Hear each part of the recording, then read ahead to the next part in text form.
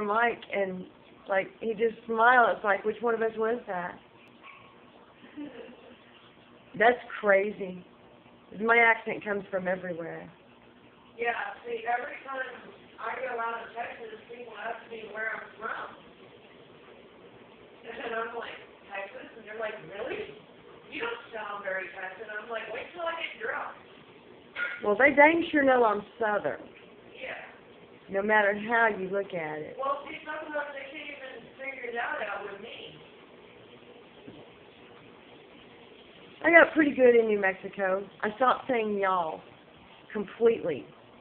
For like the last year and a half I was there, I couldn't say it, and I even reacted funny when I heard it. People would say y'all to me, and it would be weird. And now I can't imagine why in the world I would behave like such a fool.